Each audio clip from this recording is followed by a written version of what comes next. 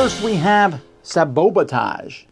The best part of this game is the name and the theme, because I do like boba tea. Well, I like it with fruit bubbles, not tapioca bubbles, but I digress.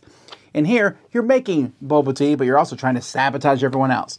Now, yes, granted, I probably should know what kind of game it is from the name and that description, but I gave it a try anyway. Here's how it plays. In this game, you are trying to make drinks. So, drinks will start with a base of green tea or black tea, um, and then you have this little menu card that shows you other things that you can add to them. So I can make a fruit-based tea. So I might add to the black tea some.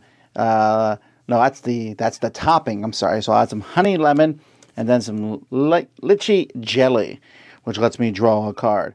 Or I might do something like, let's see, I need a milk-based one. So I'll add some milk to this one, and then add just boba, and I'm set.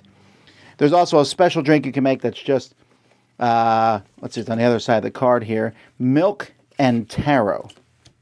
So there's different kinds of ingredient passion fruit, aloe, pudding, red bean, peach, a wild ingredient.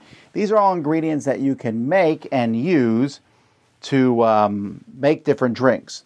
The way the game is played is on your turn, you can draw two cards from the deck. Uh, unless you have two or more drinks, then for some reason, hey, draw three cards. No reason for that, just you can do it. I guess they want the game to end quicker.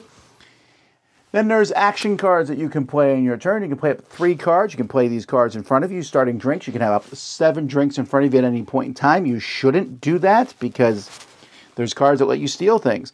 Here you can make someone else skip a turn. Here you can steal an ingredient from someone else and put it in front of you. Steal two tea cards from someone. You can protect something with Boba Assurance. Make someone trash a milk ingredient. Negate someone's action. Put a random card from someone and put it in your hand. Just draws two more cards. Here, put a straw, and now that drink is safe from other people. And then, of course, the card the game is named after, Sabobatage. Destroy a total of five ingredient cards on the table from one or more players. All five cards must be declared before a player can play any counter cards.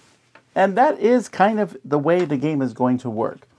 So you're going to be playing three cards in your turn after you draw cards. And then at the end of your turn, if you have seven cards, you're kind of done.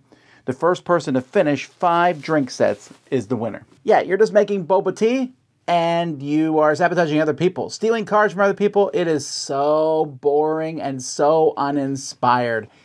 Nice quality cards, everything looks good, but a 3 out of 10, I just come on, add something to these games other than just collecting things and then ruining other people's day. There's got to be something else there. It did not make me go buy a boba tea though, so I guess there's